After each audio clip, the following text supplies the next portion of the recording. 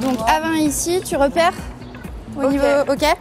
Donc ça maquette de science-fiction en matériaux recyclés. Est-ce que tu l'as vu? Elle est déjà placée. Tiens, je te prends ça, je vais faire un petit pointage rapide. À 18, c'est bon. Offrir une main à un enfant, et ça c'est Enolab de mémoire. Ce matin, on est en train de faire la répartition des stands. Euh, donc pour que quand les makers arrivent, eh bah, directement ils puissent savoir où ils sont et euh, très rapidement s'installer.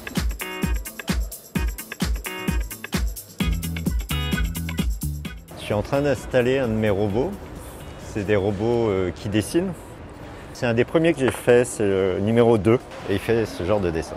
En fait, j'étais peintre pendant longtemps et euh, bah, j'essaye de faire que le robot dessine comme je dessinais. Enfin, c'est pas la même chose parce que c'est un robot, mais le plus compliqué, c'est de faire les choses qui sont naturelles pour, l'homme. C'est-à-dire voir des choses, reconnaître, marcher, attraper quelque chose sur une table. Et en fait, c'est très très compliqué de faire ça avec une machine.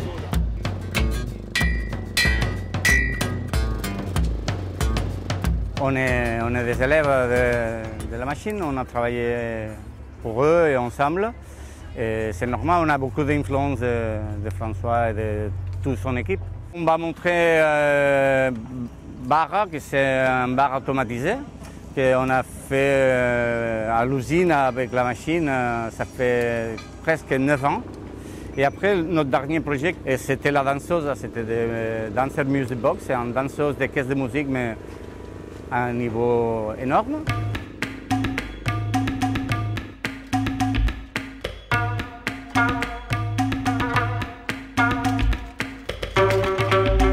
Je décharge pour préparer le stand. euh, on fait un stand Burning Man, des velours, des fourrures, des objets qu'on a accumulés, des gifts qu'on a eus au long des années euh, qu'on va à Burning Man.